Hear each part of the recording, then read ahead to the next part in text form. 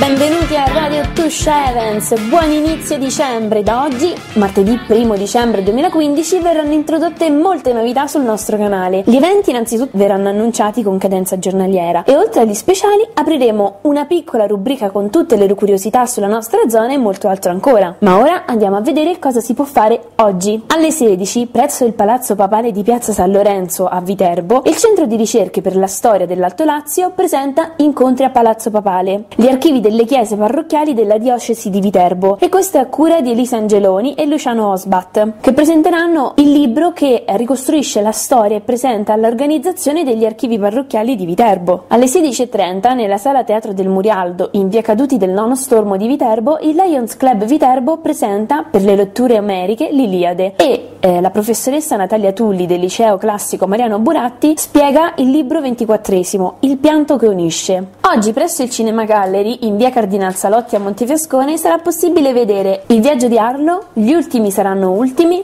e Hunger Games Il canto della rivolta 2. Il viaggio di Arlo verrà proiettato alle 17 e alle 19. Gli ultimi saranno ultimi verrà proiettato alle 19.30, mentre Hunger Games Il canto della rivolta 2 alle 17. Per oggi è tutto, vi auguro di passare una bellissima giornata e buon divertimento!